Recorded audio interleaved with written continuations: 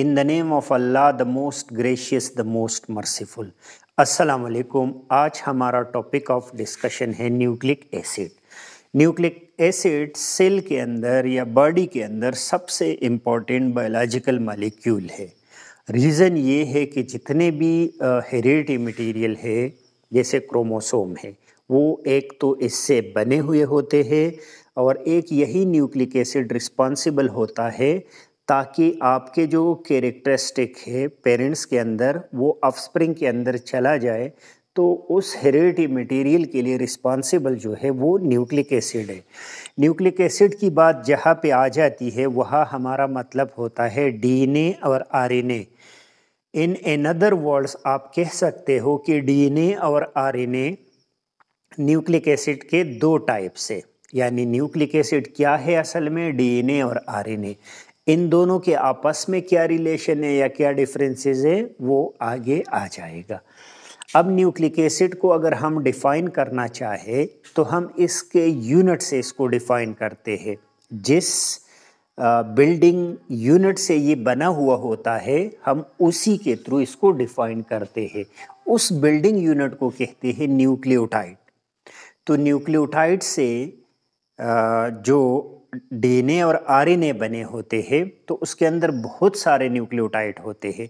तो इसलिए हम कहते हैं कि दे आर, यानी डीएनए एंड आरएनए, या nucleic acids are polynucleotide chain. Polynucleotide chain का मतलब है कि बहुत ज़्यादा न्यूक्लियोटाइड इसके अंदर होता है poly mean many composed of unit known as nucleotide इसका न्यूक्लियोटाइड यूनिट है और एक न्यूक्लिक एसिड के अंदर बहुत सारे न्यूक्लियोटाइड्स होते हैं। दो इसके टाइप से मैंने पहले बताया, डीएनए और आरएनए, जो कि अगले लेक्चर में डीएनए और फिर आरएनए, उससे अगले लेक्चर में हम पढ़ेंगे। अभी जनरली न्यूक्लिक एसिड के बारे में पढ़ते हैं कि न्यूक्लिक एसिड की डिस्कवरी किसने की थी? तो ये तो पस सेल, जो पीप होता है, उसके अंदर फ़र्स्ट टाइम 1868 में फ्रेडरिक साइंटिस्ट ने डिस्कवर किया था। उसके बाद ये फ़िश के स्पॉम से भी आइसोलेट हुआ था, ये न्यूक्लिक एसिड। न्यूक्लियोटाइड क्या चीज़? है यानी जिस यूनिट से बिल्डिंग, यूनिट जो है न्यूक्लिक एसिड का, वो न्यूक्लियोटाइड है। Unit of nucleic acid composed of three unit. अब ये जो न्यूक्लियोटाइड अगर आपके सामने आ जाए तो तीन चीज़ें आपने कंसिडर करनी है। इसके तीन कंपोनेंट्स होते हैं असल में, तीन पार्ट्स होते हैं। उससे हम न्यूक्लियोटाइड को पहचानते भी है और इसका स्ट्रक्चर भी ड्रा करते हैं। पहला इसमें होता है pentose sugar pentose mean five carbon वाला शुगर इसके अंदर होता है। दूसरा इसमें फास्फोरिक एसिड या फास्फेड ग्रुप होता है और तीसरा इसके अंदर नाइट्रोजिनस बेस होता है। बहुत सारे टाइप से बेसिस के तो कौन सा वाला बेस है भी क्लियर हो जाएगा? जो पेंटोस शुगर है, एक तो इसके बारे में याद रखो कि ये तो फाइव कार्बन शुगर है। एक बात हो गई। दूसरा, या तो ये राइबोस होगा या डी होगा। अब डीएनए और आरएनए चूँकि दो है, इसके दो टाइप है तो एक में राइबोस होगा, दूसरे में डी राइबोस होगा। तो देखो, नाम को देखो D ribo nucleic acid DNA का नाम क्या है? डी राइबो न्यूक्लिक एसिड मतलब ये कि इसके अंदर जो राइबोस है, उसमें एक ऑक्सीजन कम है, डीएनए वाले में। C five H ten O four है ओ को फाइव होना चाहिए था, जैसे राइबोस के अंदर है, आरएनए में। राइबो न्यूक्लिक एसिड, यानी इसके अंदर राइबोस है, इसके अंदर ऑक्सीजन कंप्लीट है पेंटोस शुगर है, यानी फाइव कार्बन है तो फाइव ऑक्सीजन होना चाहिए, क्योंकि ऑक्सीजन और कार्बन की रेशो सेम होती है, लेकिन इसमें कम है। ये स्ट्रक्चर है शुगर का पेंटोस शुगर का। तो देखो, इसमें पाँच कार्बन होते हैं, carbon number one, two, three, four और फाइव वाला ऐसे ऊपर होता है। तो ये जो पाँच कार्बन है, इसकी वजह से एक तो ये पेंटोस शुगर हुआ, दूसरा ये जो कार्बन नंबर टू है, आप अगर देखो राइबोस को तो थ्री पे भी हाइड्रोक्सल ग्रुप है और टू नंबर पे भी हाइड्रोक्सल ग्रुप है। लेकिन डी राइबोस को देखो टू नंबर पे जो ऑक्सीजन है, वो ख़त्म है, वो नहीं है। तो डी ऑक्सी है, एक ऑक्सीजन कम है। तो ये था पेंटोस शुगर जो कि एक बैकबोन के तौर पे काम करता है न्यूक्लियोटाइड के अंदर। अगर पूरा न्यूक्लियोटाइड का स्ट्रक्चर देखा जाए जैसे ये एक न्यूक्लियोटाइड है तो इसमें ये रेड वाला जो है, ये क्या है? ये पेंटोस शुगर है, फाइव कार्बन वाला। अब नेक्स्ट कंपोनेंट की तरफ़ जाते हैं, जिसका नाम है फास्फोरिक एसिड या फास्फेट ग्रुप या H three P O four इसका फार्मूला है या स्ट्रक्चर फार्मूला पी को दरमियान में ऐसे कार्बोनाइल की तरह ऑक्सीजन ऊपर और तीनों साइड पे हाइड्रोक्सल ग्रुप जो कि ये हाइड्रोजन इससे निकल जाता है, जिसकी वजह से इसके ऊपर निगेटिव चार्ज आता है। और आपने याद रखना है कि यही निगेटिव चार्ज डीएनए और आरएनए के ऊपर क्यों होता है? इसकी वजह से फास्फोरिक एसिड की वजह से।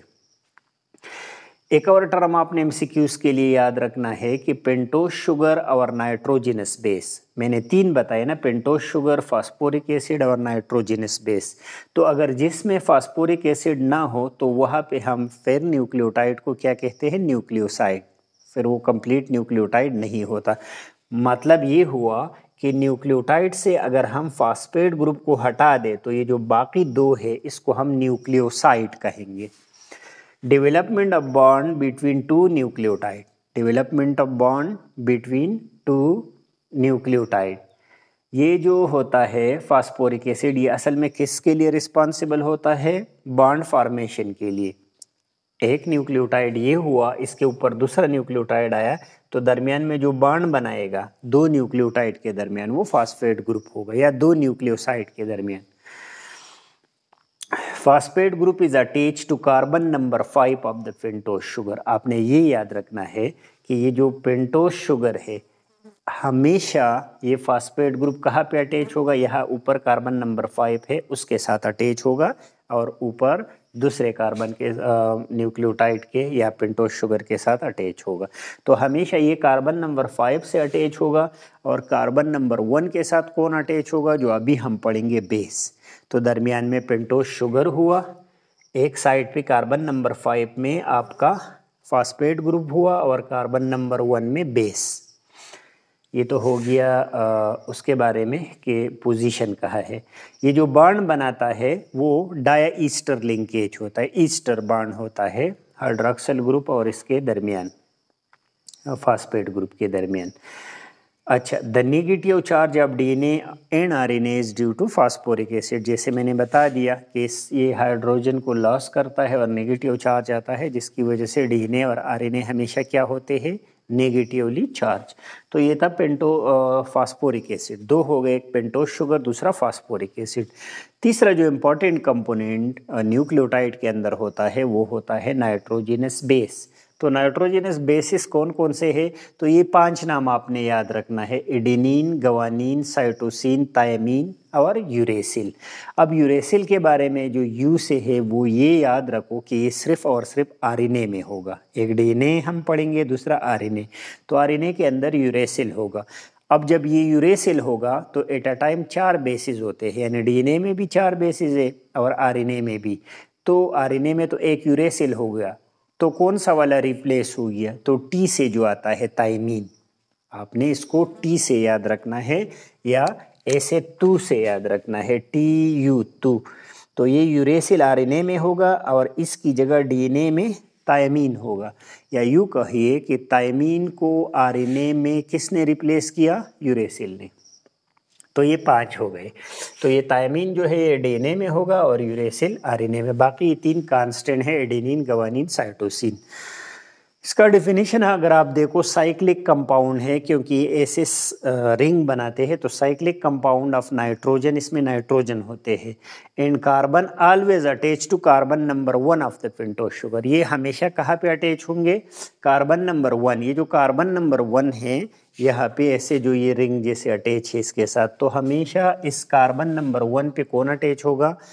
बेस अटैच होगा। ठीक है? मुख्तलिफ़ बेसिस अटैच होते हैं जैसे एक न्यूक्लियोटाइड में अगर यहाँ पे एडिनिन है तो इससे नीचे वाले में गवानीन होगा, फिर साइटोसिन होगा, और अगर डीएनए है तो ताइमीन होगा। और अगर आरएनए है तो यूरेसिल होगा। ये फिर आगे जब डीएनए का स्ट्रक्चर ड्रा करूँगा तो ये और क्लियर हो जाएगा कि एडिनिन के सामने तायमीन आएगा और डबल बना बॉन्ड बनाएगा। गवानीन के सामने साइटोसिन आएगा और ट्रिपल बॉन्ड बनाएगा। ये कब आएगा? ये डीएनए के स्ट्रक्चर में। अब ये जो नाइट्रोजनस बेसिस है, ये दो किस्म के होते हैं। एक को हम प्यूरिन बेसिस कहते हैं, दूसरे को पैरामिडीन तो आपने एम के लिए इसको ए जी से प्यूरिन को ए जी से याद करना है। और पैरामिडीन जो लंबा वाला है, इसको टक बिस्कट से याद रखना है टी यू सी यानी इसमें एडिनिन और गवानिन है, इसमें तायमीन यूरेसिल और साइटोसिन है। दूसरी बात, जो प्यूरिन है ए जी वाला, ये हमेशा डबल रिंग होगा। यानी इसमें दो रिंग होंगे तो डबल रिंग स्ट्रक्चर है। इसके एग्ज़ाम्पल में ए जी एडेनिन और गवानिन है, जिसके स्ट्रक्चर ये दो रिंग के हैं। पाँच और चार कार्बन के ये रिंग अटैच है इसे दो। जबकि पैरामिडीन जो टक बिस्कट से है तायमीन यूरेसिल और साइटोसिन इसके एग्ज़ाम्पल है, और ये सिंगल रिंग स्ट्रक्चर है तीनों। तीनों में यूरेसिल के बारे में मैंने ख़ास बात ये बता दी, ये सिर्फ़ और सिर्फ़ आर में होगा डी में ये नहीं होगा। तो ये बेसिस हो गए। तो अब ये जो तीन हमने पढ़े, ये न्यूक्लियोटाइड को किस तरह बनाता है, ऐसे। जैसे ये दरमियान वाला पिंटोस शुगर है फिर इसके कार्बन नंबर वन के साथ हमेशा बेस अटैच होगा, जो भी बेस होगा एडिनिन होगा गवानिन ताइमिन एट अ टाइम यह एक बेस आएगा। और इसको दूसरे न्यूक्लियोटाइड के साथ कार्बन नंबर फाइव पे कौन अटैच है? जो फास्फेट ग्रुप वो कनेक्ट करेगा। तो दो न्यूक्लियोटाइड आपस में कनेक्ट होते इससे। ये अभी तो मैंने सिर्फ़ न्यूक्लियोटाइड पढ़ा है। फिर जब ये पूरा डीएनए का लंबा चेन पढ़ाऊँगा तो वह और क्लियर हो जाएगा। कि इस एक न्यूक्लियोटाइड को दूसरे के साथ कैसे ईस्टर बान के ज़रिए अटैच किया गया है। ठीक है। अब न्यूक्लियोटाइड जो हमने पढ़ा, जिसका स्ट्रक्चर बड़ा और जिसके तीन कंपोनेंट पढ़े इसके टाइप्स कौन कौन से हैं? तो ये बड़े आसान है। एक तो मानोन्यूक्लियोटाइड होता है डायन्यूक्लियोटाइड और पोलीन्यूक्लियोटाइड मानोन्यूक्लियोटाइड नाम से ज़ाहिर है कि इसके अंदर कितने न्यूक्लियोटाइड हो गए? मानो वन जिसके example A T P A D P और A M P adenine triphosphate adenine diphosphate और एडेनिन मानोफॉस्फेट होगा। एडेनिन मानोफॉस्फेट में एक फॉस्फेट ग्रुप होगा, इसके साथ एक और फॉस्फेट ग्रुप अगर हम अटैच करें तो एडेनिन डायफॉस्फेट बनेगा और एक और अगर अटैच करें तो एडेनिन ट्राइफॉस्फेट बनेगा एटीपी जो कि करेंसी ऑफ़ द बॉडी है और ये सेल के लिए एनर्जी है। ये एनर्जी का जो करेंसी है वो है। जब सेल को चाहिए तो एटीपी के शक्ल में वो एनर्जी को यूटिलाइज करता है। इसके दरमियान जो तीसरा बाड है फास्फेट का वो टूट जाता है और उससे seven kilo calorie energy release होता है। एएमपी कैसे बनेगा? तो सबसे पहले को एडिनिन जो बेस है एडिनिन के साथ राइबोस शुगर जो है ये दोनों जब अटैच हो, होते हैं तो एडेनोसिन बनाते हैं। तो अब ये जो एडेनोसिन है इसके साथ एक फास्फेट अटैच करो तो एडोनेसिन मानोफास्फेट बनेगा। दूसरा फास्फेट अटैच करो तो डायाफास्फेट दो फास्फेट वाला बनेगा। तीसरा फास्फेट अटैच करो तो एटीपी जो करेंसी मैंने बता दिया, वो बन जाएगा एटीपी तो ग्लूकोज मालिक्यूल या एनर्जी रिच मालिक्यूल जो टूटते हैं तो एटीपी बनाता है सेल के अंदर। फिर मानो न्यूक्लियोटाइड की तरह डाया न्यूक्लियोटाइड है। नाम से ज़ाहिर है जिसके अंदर टू न्यूक्लियोटाइड होंगे। अब डाया न्यूक्लियोटाइड का इंपॉर्टेंट बात जो सेल के अंदर है वो को एंजाइम है क्योंकि ये डाई न्यूक्लियोटाइड जब विटामिन के साथ मिलता है तो को एंजाइम बनाता है। और जब हम चैप्टर नंबर फोर पढ़ेंगे तो उसके अंदर बहुत सारे एनर्जी रिच कंपाउंड बनते हैं जिसमें N A D N A D P H two ये बनते हैं ये असल में को एंजाइम है और इसके अंदर एनर्जी हो, होता है। और वही एनर्जी से कैसे रिलीज़ होता है? इलेक्ट्रॉन ट्रांसपोर्ट चेन में जो हम वहाँ पे सीखेंगे। अब देखो बॉडी के अंदर थ्री इंपॉर्टेंट को जो है वो आप इसके एग्ज़ाम्पल में लिख सकते हो एन ए डी का मतलब क्या है? Nicotinamide adenine dinucleotide N A D P nicotinamide adenine dinucleotide phosphate और F A D flavin adenine dinucleotide तो देखो, इसमें तो ये एक तो नाम के अंदर है कि एडिनिन डायन्यूक्लियोटाइड डायन्यूक्लियोटाइड है इसके अंदर और उसके साथ निकोटिनमाइड है। निकोटिनमाइड असल में विटामिन बी थ्री है। और फ्लेविन विटामिन बी टू है। तो ये असल में क्या है कि विटामिन और डायन्यूक्लियोटाइड जब मिलते हैं तो ये को बनाते हैं। और वो को बड़े काम की चीज़ है, क्योंकि ये ऑक्सीड ऑक्सीडाइज और रिड्यूस होते हैं और एनर्जी बॉडी को दे देते हैं। और फिर पोली न्यूक्लियोटाइड है तड़ वाला। तो पोली न्यूक्लियोटाइड जिसके अंदर मेनी न्यूक्लियोटाइड होंगे। अब मैनी न्यूक्लियोटाइड हमने डेफिनेशन में बता दिया कि पोली न्यूक्लियोटाइड असल में क्या चीज़ है? न्यूक्लिक एसिड या डीएनए आरएनए तो इसके अंदर हम डीएनए और आरएनए पढ़ेंगे, जो कि इस लेक्चर में मुमकिन नहीं है। अगले लेक्चर में डीएनए पढ़ेंगे और फिर उस अगले में आरएनए तो पोली न्यूक्लियोटाइड्स आपके हो जाएँगे। आज के इस लेक्चर में हमने न्यूक्लियोटाइड को सीखा कि असल में ये डीएनए और आरएनए है, फिर ये सीखा कि इसके अंदर बहुत सारे न्यूक्लियोटाइड होते हैं। फिर हमने न्यूक्लियोटाइड को देखा कि बिल्डिंग मटेरियल है न्यूक्लिक एसिड के, जिसके अंदर तीन कंपोनेंट है। इस, एक इसके अंदर शुगर था, फास्फेट ग्रुप था और तीसरा इसके अंदर बेस था। शुगर के बारे में तो पता है कि डीएनए में आर राइबोज सॉरी डीऑक्सीराइबोज और आरएनए में राइबोस होता है। और ये एक फ्रेमवर्क, एक स्ट्रक्चर का काम करता है जो ऐसे दरमियान में होता है और इसके पोजीशन नंबर वन पे बेस अटैच होता है। बेस साइक्लिक कंपाउंड है नाइट्रोजनस, जिसके दो किस्म हमने पढ़े, एडेनिन और गवानिन को अलग पड़ा क्योंकि उसके डबल रिंग है, और फिर टक से तायमीन यूरेसिल और साइटोसिन को अलग पड़ा यूरेसिल के बारे में ये सीखा कि ये सिर्फ़ आरएनए के अंदर होता है। फिर कार्बन नंबर फाइव पे जो है वो फास्फेट ग्रुप है और असल में ये फास्फेट ग्रुप किसके लिंकेज का काम करता है? दो न्यूक्लियोटाइड इतने लंबे न्यूक्लियोटाइड जब एक दूसरे के साथ अटैच है तो किस वजह से? इस फास्फेट ग्रुप की वजह से ईस्टर बाड बनता है दो न्यूक्लियोटाइड के दरमियान। फिर हमने इसके टाइप्स पढ़े मानो न्यूक्लियोटाइड जैसे एटीपी है डाई न्यूक्लियोटाइड जैसे कोएंजाइम है, और पोली न्यूक्लियोटाइड जो कि डीएनए और आरएनए है, हम नेक्स्ट लेक्चर में पढ़ेंगे। होप ये लेक्चर आपको समझ आ गया होगा। नेक्स्ट लेक्चर तक इजाज़त दीजिए। अल्लाह हाफिज़।